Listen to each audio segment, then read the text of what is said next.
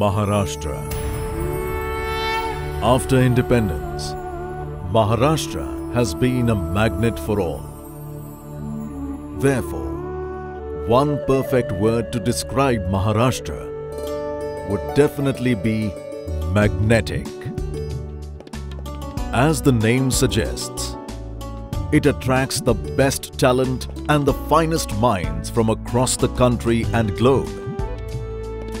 From Bollywood to big business, from Hollywood biggies to global icons in music, art.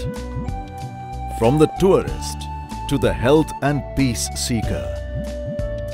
From Mumbai, the commercial capital of India and home to the largest film industry of the world, to Pune, the cultural capital of the state and a major IT hub of India, and the orange city of Nagpur, the center of India's trade routes. Maharashtra's attractions are infinite.